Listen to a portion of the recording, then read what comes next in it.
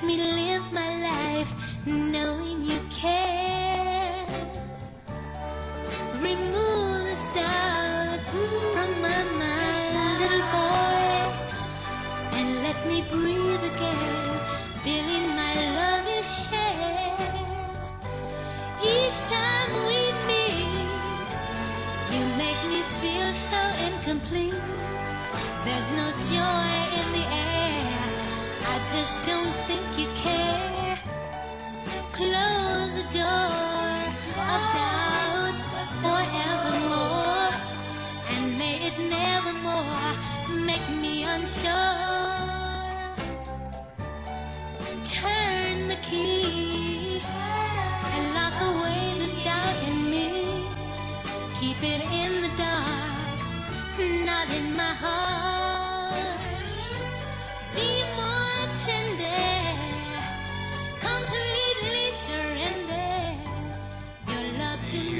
Contribution of Prophet Noble Drew Ali. Um, one thing that is important is his bloodlines. His mother, Eliza Turner, um, was a Choctaw, Washitaw, as a part of an instrumental case in 1848.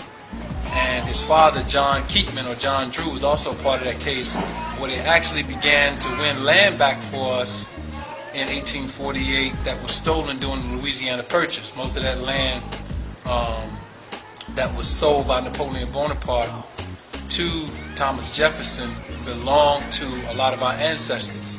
And even one of his uh, great nieces, Empress Tiari, Verdiacee Goston El-Bey, actually won land back um, in 1993. And what we saw was that she reconnected the bloodlines, and you saw the Washitaw uh, prevailing at that time doing a lot of work to bring back the issue of nationality and birthrights. But Noble Drew Ali um, was a man that was way before his time. Could you imagine somebody in 1928 during the Chicago riots wearing a blazing red fez, talking history that was 5,000 years old? Um, we still trying to pierce what he was teaching. And of course, bringing back the Moorish identity is raising Hiram. So, um, in my estimation, as far as the identity factor, there has never been someone to crack the code or the seven seals like he did.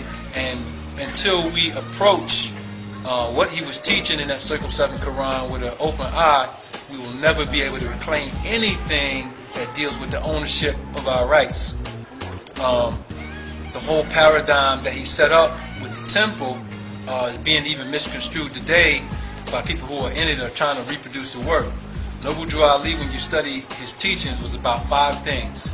First, I'd like to give all praises to the Almighty Allah, the Father of love, truth, peace, freedom, and justice. I'd like to give high honors to Prophet Noble Drew Ali, the last prophet in these days, Savior of humanity. I'd like to give high honors to Brother Marcus Mosiah Garvey, the forerunner of Prophet Noble Drew Ali. Purity made flesh to man, that man may comprehend. I'd like to give honor to all the true and divine prophets, Jesus, Muhammad, Buddha, and Confucius. I'd like to give honor to the prophets that I have not mentioned. I'd like to give honor to each and every one of you. Islam, Lord. Islam. Praise Allah. There's a lot of misconceptions on who Noble Drew Ali really is. Was he a Mason? You know, what is Islam? Was that our original creed?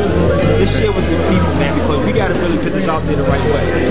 The Prophet Noble Drew Ali, you know, he's one that Allah, the great God of the universe, you know, chose to raise up amongst our nation, looking like us, born amongst us, speaking our language, as every nation that had a prophet sent to him by the great God of the universe.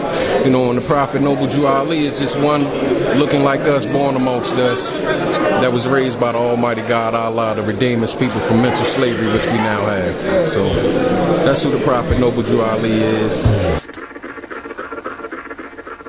You was oppressed and depressed and disgusted that you were born in the wrong race of people because of your color. Whatever was left, that's what you got. Only what was left. And we were at the lowest ebb.